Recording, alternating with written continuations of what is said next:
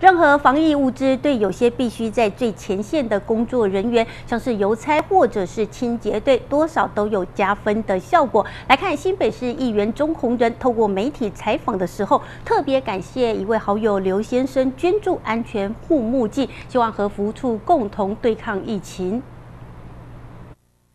防疫不能松懈，新北市议员钟宏仁以身示范，除了戴口罩，还戴上护目镜。钟宏仁特别要感谢好友刘先生的捐助和服务处共同对抗疫情。手上拿的这个防护镜是啊一个好朋友刘先生，非常感谢他的热心，要捐助一些啊这个防护镜给我们第一线比较辛苦的工作人员。疫情还是非常的严峻，我戴着口罩又戴着防护镜，这个是。啊，防护 COVID-19 的一个基本配备，因为它可以透过呃嘴巴还有眼睛来传染，所以啊，我们做好防护工作，这个是我们自身要处理的。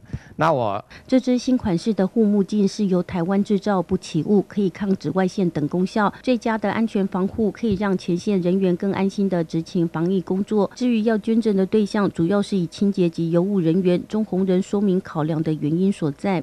我是。有考量到我们的清洁队人员呐，他每天在外面打扫或是接触会比较多。虽然他们已经有一些配备，但是呃，希望再呃提供给他们，或是要邮务人员呐，他们每天帮我们送信呐，也是会有很广的接触。这个护目镜是台湾生产的，本身啊，它挂起来很清晰。